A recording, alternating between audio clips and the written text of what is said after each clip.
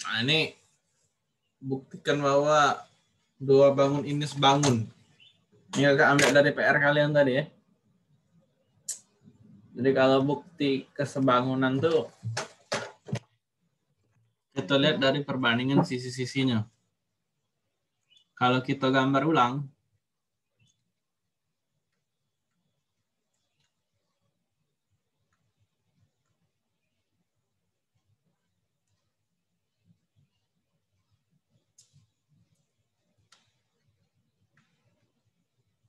Ini kalau kita gambar ulang.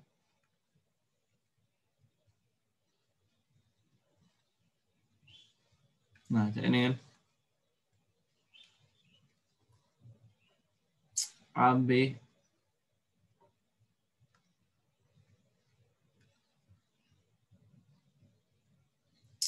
CD ya. Sisi-sisinya 685 sama 3 ya. Nah, terus kayak yang sebelah kanan kita putar juga.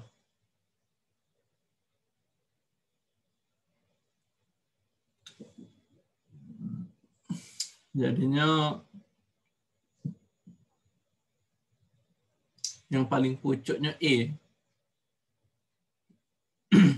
EF GH 6 ini catnya si rancu ini 12 ke 10 eh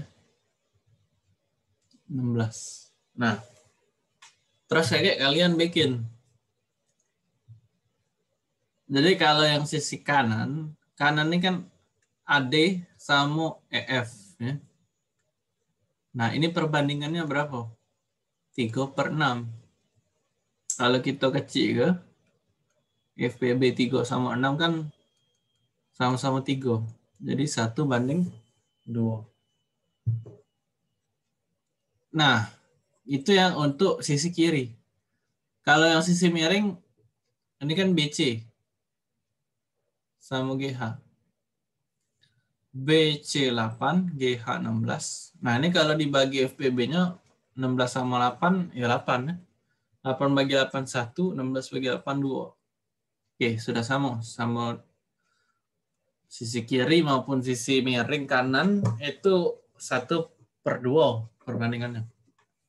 Selanjutnya kalau kita cek sisi pucuk.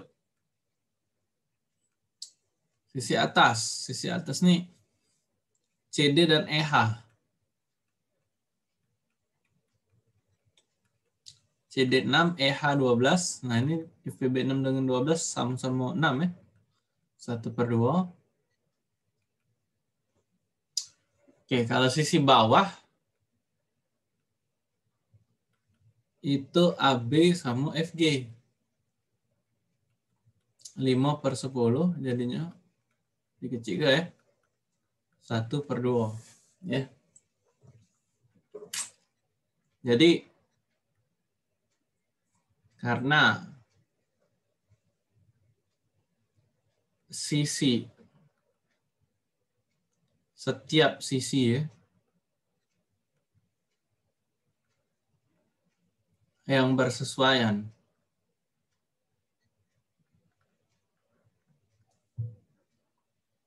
Dari trapesium kanan dan kiri ya satu berbanding dua, maka kedua bangun tersebut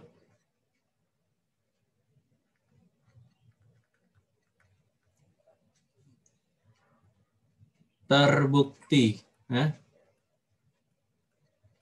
sebangun.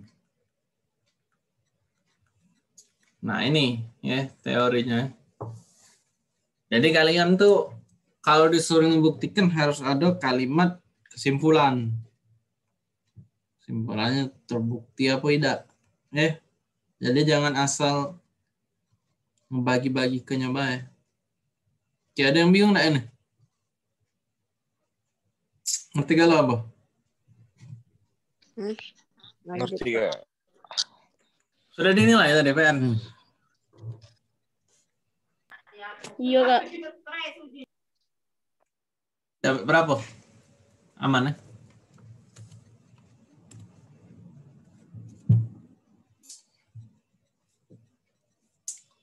Sama aja nomor dua ya. Nomor dua nih buktikan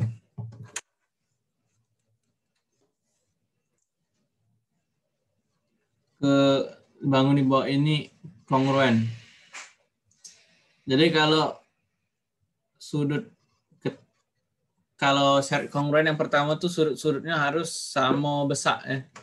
Kan ada sudut ABC untuk dari segitiga kiri ya. Segitiga kanan ada sudut DEF.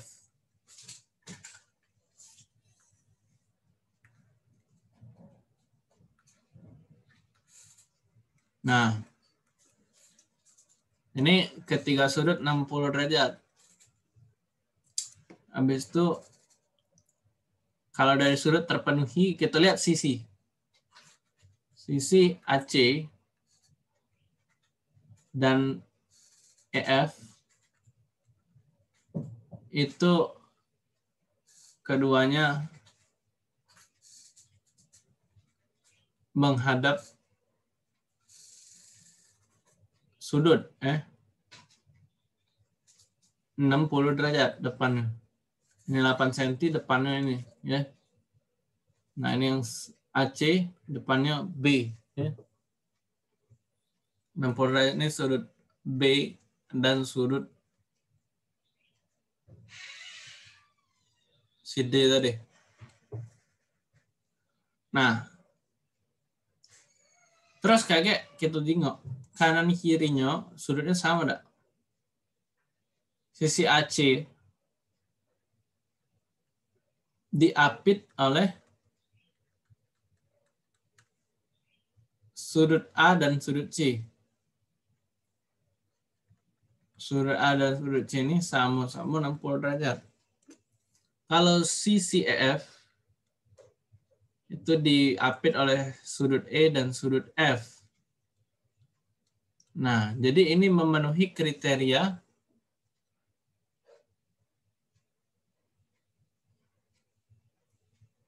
terpenuhi ya.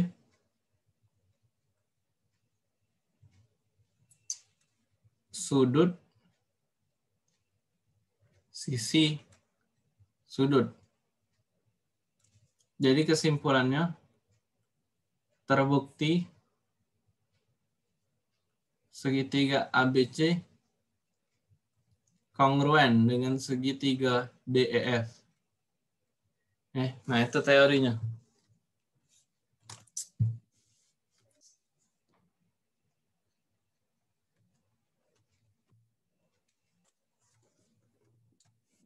Ya, jadi pembuktiannya apa nih teorinya?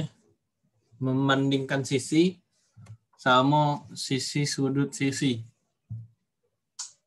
Ya, ada juga sisi ketiganya diketahui ya. Ada juga untuk teori sisi sudut sisi ada juga ya. Beda-beda ya. Nah, kalau nomor tiga ini panjang sisi yang belum diketahui ya. Panjang sisi yang belum diketahui ini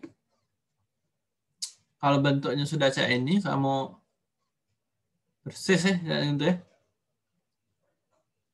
Ini kan yang diketahui 45 sama 15. Nah, 45 itu sama dengan 15 kali berapa? Berarti kita bagi 45 bagi 15 itu 3 ya.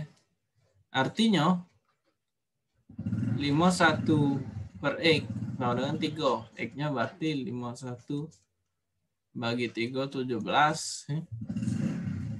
Kalau Z-nya ini 3 kali lipat dari 9. Ya. 27. Nah, kalau Y-nya kan lebih besar ini dari 20. Jadi 3 kali 20 sama dengan 60 ya. Eh, jadi dapat ya lo X-nya 17, Y-nya 60, Z-nya 27. Oke itu ya. Jadi kesesuaiannya.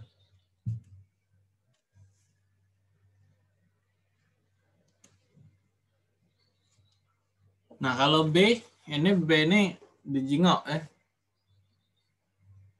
12 ini bersesuaian dengan Y, 16 dengan 24. Ya. Jadi kalau 16 per 24 itu sama dengan 12 per Y. 16 bagi 8, 2. 24 bagi 8, 3. 12 bagi 2, 6. Jadi Y-nya 6 kali 3, 18. Kalau nyari X-nya, X per 20 sama dengan 16 per 24 tadi. 2 banding 3 kan. Jadi kakek 40 per 3. Ya. 13 1 per 3. Ya. Ya ini tidak bulat ini. X per 20, 16 per 24. Jadi kakek 4X-nya 4 kali 40 per 3. 2Y-nya 2 kali 18. 160 per 3 dikurang 36 kali 3 108. 52 bagi 3 17 1 per 3 Nah itu ya perbandingan ininya ya. Nah PR hari ini habis. Ini yang dua soalnya PR yang kemarin. Dikirim Sidora. Nah ini sama kita ubah dulu gambarnya.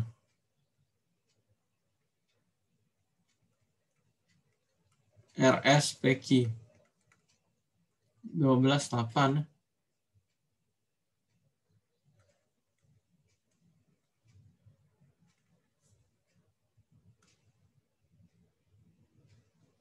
Nah, ini diubah ya, jadi LK.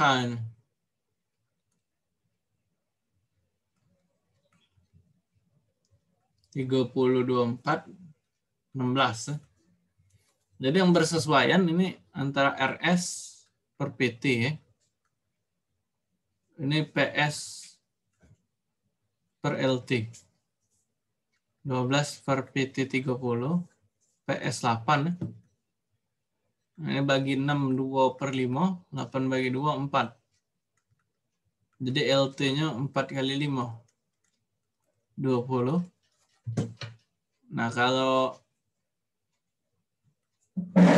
QR per PK, ini kan tadi 2 per 5 nih, ya perbandingannya kan.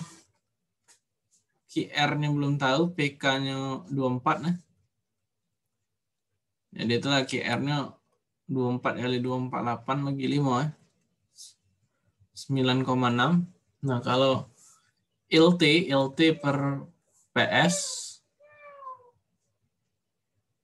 sama dengan tadi 2 per 5.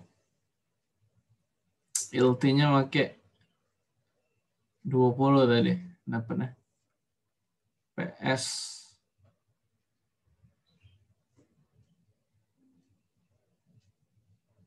bukan PS ya, LT ya LT per PS LT dapat CR dapat PQ ya belum dapat ya.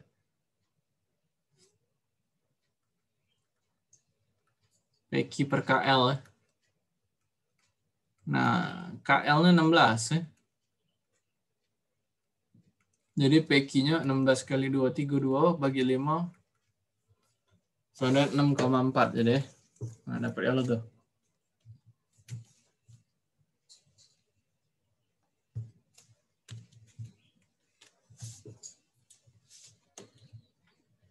Oke, kalau yang terakhir nih sama ya. Kita jingok kesesuaiannya yang kiri sama kiri, kanan sama kanan ya. Yang sama X, sama di kiri, 20 sama 30 sama-sama di bawah, coret ya. Jadi 3 kali 15, 45 bagi 2, 22 setengah. Kalau Y-nya ini sama 40. 20 per 30. 80 per 3.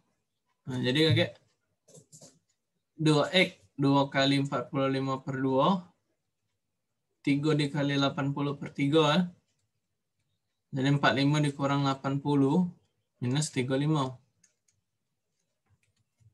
Nah itu ya.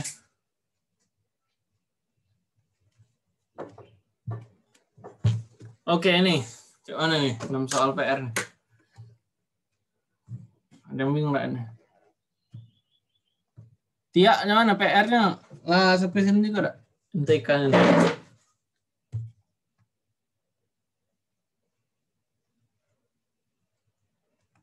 Siapa lagi sekolah yang beda-beda? Ya, tiak deh.